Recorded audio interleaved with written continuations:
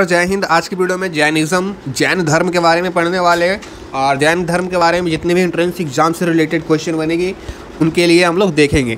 तो जैनिज़्म आपका ज़्यादा नहीं है, आज की वीडियो थोड़ी शॉर्ट होने वाली है, आप लोग देख सकते हैं, जैनिज़्म बस यहीं तक है, उसके बाद मगध एम्पायर हम लोग स्टार्ट करेंगे नेक्स्ट वीडियो में। तो जैनिज़्म में क्या क्या पढ़ना है, सबसे पहले बेसिक चीज़ें जो है, उसके बारे में हम लोग जान लेते हैं। जैसे कि मैंने आपको पिछले वीडियो में बौद्धिज़्म, बौद्ध धर्म के बारे में पढ़ाया था और उनका फाउंडर के बताया था कि उनके जो संस्थापक थे बुद्धिज़्म के, खुद भगवान बुद्धि थे। तो जैनिज़्म के संस्थापक कौन हो जाएँगे और जैनिज़्म के फाउंडर कौन हो जाएँगे? तो पूरा पूरा श्रेय इनको हो जाता है। ऋषभ देव जो थे, जैनिज़्म, इनके वजह से यहाँ जैनिज़्म धर्म है, जैन धर्म है। तो फाउंडर का पूरा पूरा श्रेय ऋषभ को जाता है। पूरा नाम ऋषभ देव था ठीक है? और यहाँ पर जितने भी तीर्थांकर हुआ करते थे, तीर्थांकर का मीनिंग क्या होता है? तीर्थांकर वह होते हैं जो पूरी तरह से मोह माया दुनिया को छोड़ छाड़ के जैनिज़्म को पूरी तरह से कम्प्लीटली अपना लेते हैं। वही लोग तीर्थांकर कहलाते हैं और तीर्थांकर एक तरह से बहुत ही ऊँचा पोस्ट होता है। टोटल जैनिज़्म के अंदर, जैन धर्म के अंदर ट्वेंटी फोर तीर्थांकर हुए। और देखो यहाँ पर ट्वेंटी फोर लोगों का नाम याद रखना बहुत ही मुश्किल हो जाता है। तो आप लोग जो मेन मेन जो हैं तीर्थांकर, चौबीसों में से जो पहले तीर्थांकर होंगे और लास्ट वाले तीर्थांकर होंगे, उनका नाम हमेशा याद रखना। बाकी जो आए गए, उनके नाम याद रखना पॉसिबल नहीं है और ज़रूरी भी नहीं है तो चौबीसों तीर्थांकर में से आपको फ़र्स्ट एंड लास्ट उसके बाद जो तेईसवें तीर्थांकर थे सेकेंड लास्ट उनका नाम याद रखना है। पहले तो हो जाएँगे खुद ऋषभ देव, दूसरे दूसरे को नहीं याद करना है, उसके बाद डायरेक्ट तेईसवां, चौबीसवां को याद करना है। तो तेईसवां ट्वेंटी थर्ड तीर्थांकर जो थे तो इनका नाम पारसनाथ था, तेईसवें काल, और लास्ट तो का जो है, लॉर्ड महावीरा हैं तो चौबीसवें तीर्थांकर का नाम पूछा जाए तो लॉर्ड महावीरा हो जाएँगे, तेईसवें पारसनाथ हो जाएँगे, और पहले खुद जो फाउंडर थे, संस्थापक थे, पहले तीर्थांकर खुद ऋषभ देव हो जाएँगे। तो ये और ज्ञान प्राप्त कर लेने के बाद इन्होंने कुछ ज्ञान हम लोगों को दिया, जैसे कि झूठ नहीं बोलना चाहिए, धन संग्रह ना करना चाहिए मतलब धन को जमा नहीं करना चाहिए, एक बार चोरी नहीं करना चाहिए और हिंसा नहीं करना चाहिए, लड़ाई वगैरह में ज़्यादा इन्वॉल्व नहीं रहना चाहिए। तो ये इनके चार ज्ञान थे। जैसा कि मैंने बताया लास्ट और सबसे लास्ट जो चौबीसवें तीर्थांकर थे, वो कौन थे? तो वो लॉर्ड महावीरा, स्वामी महावीरा थे। और इनको क्वेश्चन बनता है यार कि पहले संस्थापक पूछा जाएगा कि जैन धर्म के संस्थापक कौन थे? तो आप बताइए, ऋषभ देव का मैंने नाम आप लोगों को बताया तो उनको याद रखिएगा। और पूछा जाता है कि जैन धर्म के वास्तविक संस्थापक कौन थे? एक्चुअल में संस्थापक किनको माना जाता है? संस्थापक तो ऋषभ देव ही थे, लेकिन एक्चुअल में संस्थापक किनको माना जाता है तो उनका जो नाम आपको याद रखना है, वो लॉर्ड महावीरा हो जाएगा। स्वामी महावीरा को एक्चुअल में, वास्तविक में इनको संस्थापक माना जाता है। तो महावीरा जो, जिनको एक्चुअल तीर्थांकर माना जाता है, उनके बारे में डिटेल में हम लोगों को पढ़ना है, और एक एक चीज़ों को हम लोग नोटिस ध्यान में रखना है। और ख़ास बात यह है कि जो लॉर्ड महावीरा थे, एक बिहारी थे, और ये बिहार के रहने वाले थे। बिहार में कौन सा जगह? तो यहाँ पर आपको देख सकते हैं कुंडाग्राम कौन से मुजफ्फरपुर के आप लोग होंगे तो आप लोग इसको पहचान गए होंगे। कुंडाग्राम एक जगह है और डिस्ट्रिक्ट मुजफ्फरपुर और स्टेट आपका राज्य बिहार। बिहार में मुजफ्फरपुर के कुंदग्राम में रहने वाले ये थे और इनका जन्म जो हुआ था, जन्म वहीं पे हुआ था जो यहाँ पर यहाँ रहने वाले थे। ठीक है यहाँ का इनका जन्म पूछा जाएगा तो यही वाला नाम याद रखिएगा। कुंडग्राम डिस्ट्रिक्ट मुजफ्फरपुर, बिहार और जन्म का समय पूछा जाए तो 540 बीसी 540 बीसी में इनका जन्म हुआ था और इनके जो पिताजी थे, उनका नाम सिद्धार्थ था। इस एक राजा थे और कौन से कुल के शस्त्रीय क्लैन के। तो आप लोग ऋग्वेदिक काल में आपने देखे होंगे, बहुत सारे डिवीज़न हुआ था कि ब्राह्मण, क्षत्रिय, वैश्य, शूद्र। और उनकी माता जी जो थी, त्रिशाला, जो कि सिस्टर ऑफ़ लिच्छवी प्रिंस के बहन थी।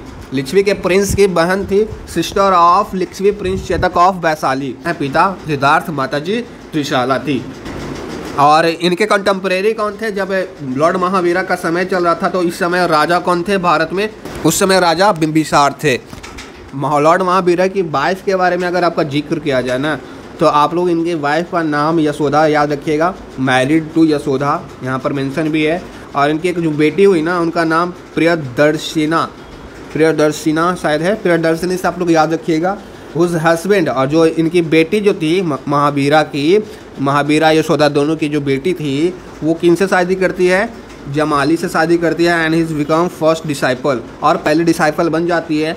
फिर क्या होता है तीस साल की उम्र में ये एस्थेटिक बन जाते हैं एस्थेटिक बन जाते हैं। एस्थेटिक करने का मतलब होता है घर त्याग देना सब कुछ त्याग त्याग के चल जाना कहीं पे वन वगैरह में और हाँ, क्या बोलते हैं उसको यार जो बुद्ध भगवान किए थे यज्ञ वगैरह या फिर तपस्या हाँ तपस्या कहते हैं उसे।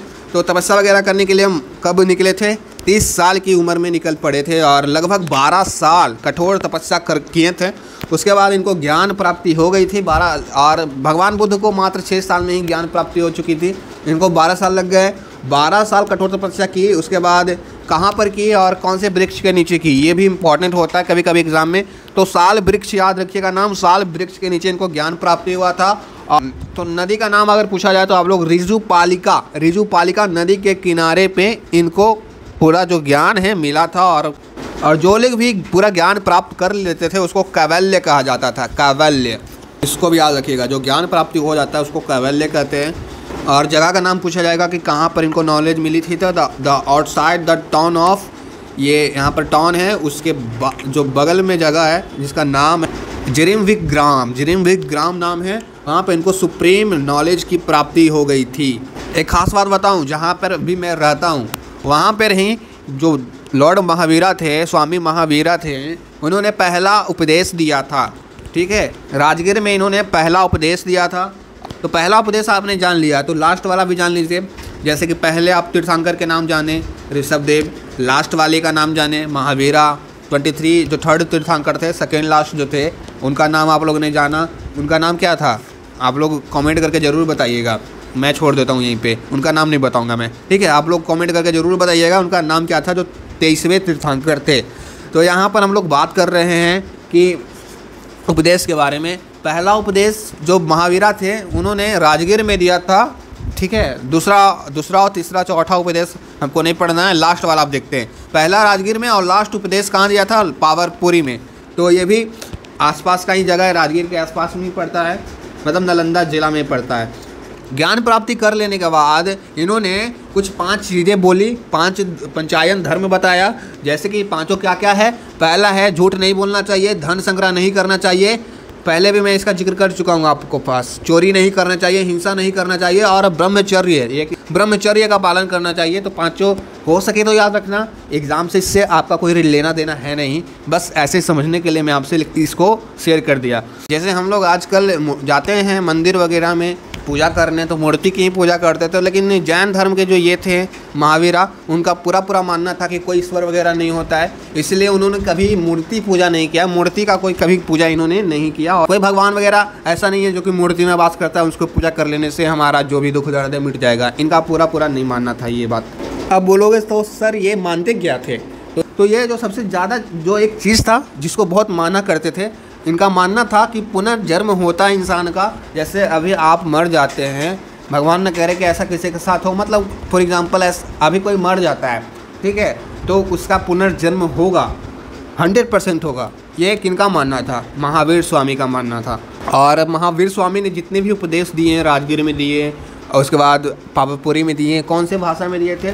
तो भाषा का नाम अगर आपसे पूछ देता है एग्ज़ाम में तो आप लोग याद रखिएगा। इन्होंने प्राकृतिक प्राकृतिक लैंग्वेज में इन्होंने पूरा उपदेश दिया था तो प्राकृतिक भाषा आप लोग याद रखिएगा। फिर जो आया है उनको जाना ही है। भगवान जो महावीर थे, वो भी इंसानी थे, उनको भगवान का दर्जा इसलिए मिल गया था कि वो जैन धर्म के एक बहुत बड़े तीर्थांकर थे, और फिर उनका मृत्यु हो जाती है। कब मृत्यु होती है? चार सौ अड़सठ बी में उनकी मृत्यु हो जाती है। तो आप लोग यहाँ पर देख सकते हैं, चार सौ अड़सठ बी दिया गया है, उसको याद रखिएगा। कब? जब मरते हैं तो इनका साल बेहत्तर साल के होते हैं। बेहत्तर साल चार सौ अड़सठ बी में इनकी मृत्यु हो जाती है और मृत्यु जो होती है पावापुरी में ही होती है, जो इनका लास्ट जैसे कि मैंने बताया लास्ट उपदेश इन्होंने पावापुरी में दिया था। मृत्यु भी पावापुरी में ही हो जाती है और जो भी इस धर्म को, महावीरा को फॉलो करते थे, उसको जैन कहा जाता है। आज भी लोग बहुत सारे जैन धर्म को फॉलो करते हैं, महावीरा को फॉलो करते हैं तो उनको जैन कहा जाता है कि नहीं?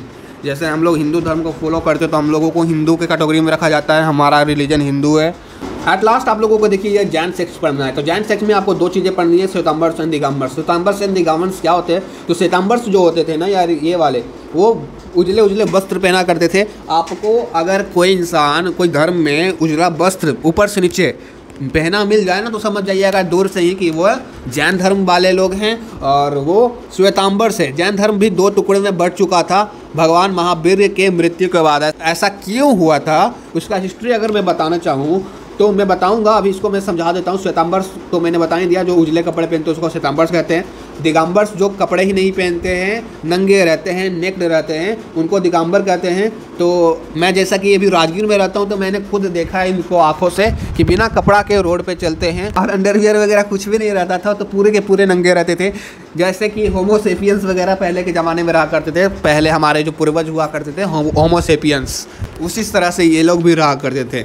जैन धर्म के जो दो टुकड़े में बटा गया आ, वो किनके द्वारा बांटा गया? तो क्या होता है ना जब इनका मृत्यु हो जाता है कब होता है? चार सौ अड़सठ बीसी में किनका? महावीरा का। तो ये जो होता है ना कि दो टुकड़ों में बट जाता है। दो टुकड़ों में क्यों बढ़ता है? इनके दो जो परम शिष्य थे प्रिय शिष्य थे उनका नाम याद रखिएगा। इन दोनों ने ही इसको अलग अलग बांट देते हैं। एक थे भद्रबाहु ठीक है? एक थे भद्रबाहु दूसरे थे स्थूलबाहु। ये दोनों परम शिष्य थे। भद्रबाहु और स्थूल बाहु ने ही इस जैन धर्म को दो टुकड़ों में बांट दिया, श्वेतांबर्स एंड दिगाम्बर्स श्वेता, श्वेतांबर्स तो सही था यार, इन लोग कपड़ा वगैरह अच्छे से रहते थे। दिगाम्बर्स वगैरह जो था थोड़ा अजीब सा लगता है ना, बिना कपड़ा के इधर उधर घूमते हैं ये लोग तो। तो दिगंबर्स क्या हुआ था कि जब ये लोग, इनका समय था ना तो उस समय मौर्य काल चल रहा था, चंद्रगुप्त मौर्य का समय चल रहा था तो क्या होता है कि मगध साम्राज्य में उस समय 12 सालों के लिए भीषण अकाल पड़ जाता है। आप भी देखो, अगर आप जिस शहर में रह रहे हैं, पटना, बिहार, लखनऊ, उत्तर प्रदेश, कहीं पे भी, उस शहर में अगर भीषण अकाल पड़ जाता है, कोई भी दुकान वगैरह नहीं खुलता है, सब्ज़ी वगैरह नहीं मिलता है, और कोई भी सामान जो ज़रूरत की आपकी है, नहीं मिलने लगती है, दूध वगैरह, जितनी भी चीज़ें हैं तो क्या आप उस शहर में रहेंगे? तो उसी संदर्भ में आप लोग समझिए कि भीषण अकाल पड़ा था। तो दिगंबर्स जो लोग जो थे, वो क्या किए? भीषण अकाल पड़ा तो वो दूसरे शहर चले गए कि वहाँ जहाँ पर सभी चीज़ें मौजूद थी, वहाँ पे चले गए। तो दिगंबर्स मूव ऑन किए। पहले मगध साम्राज्य में रहा करते थे। अब उससे मूव ऑन करके कहाँ पर जाते हैं? साउथ इंडिया में चले जाते हैं। दक्षिण भारत में, कर्नाटक में चले जाते हैं। और कर्नाटक में कुछ दिन रहते हैं और जैसे ही अपना जो ये अकाल होता है ना, वो ख़त्म होता है। तो जो अपना पर्सनल घर होता है, वो पर्सनल घर ही होता है। आप जैसे कि देखें आप, आपका पर्सनल घर कहीं और है, जैसे कि आप जहाँ अभी रह रहे हैं, वो आपका पर्सनल घर है। और आप दिल्ली में जाते हैं रेंट लेकर आते हैं तो कितना भी हो जाए यार रेंट वाला घर से अच्छा तो अपना खुद का घर होता है, क्योंकि जो दिगंबर्स लोग जो थे, अकाल जैसे ही खत्म होता है, तुरंत लौट के वापस चले आते हैं। और उतना देर से मैंने आपको दिगंबर दिगंबर बोला, दिगंबर वाले लोग चले गए थे, लेकिन यहाँ पर दिगंबर नहीं गए थे। दिगंबर तो बाद में बना। दिगंबर के जो खोजकर्ता थे जिनका मैंने आपको नाम बताया था, भद्रबाहु। वो चले जाते हैं अकाल पड़ने पे कहा? साउथ इंडिया में, ठीक है? और वो साउथ इंडिया में जाके क्या करते हैं कि रहते कुछ दिन, फिर अकाल जैसे ही ख़त्म होता है, वो भद्रबाहु वापस आते हैं। भद्रबाहु अपना मगध साम्राज्य में वापस आके ये दिगंबर्स का फिर क्रिएशन करते हैं। दिगंबर्स बनाते हैं और दिगंबर्स क्या होता है, आप लोग को मैंने अभी बता दिया ही। तो आज की वीडियो में बस इतना ही। वीडियो अच्छा लगा है तो लाइक करें। और शेयर कर सकते हैं और चैनल सब्सक्राइब ज़रूर कर दीजिएगा बेल आइकन को भी प्रेस कर दीजिएगा। Thank you for watching my video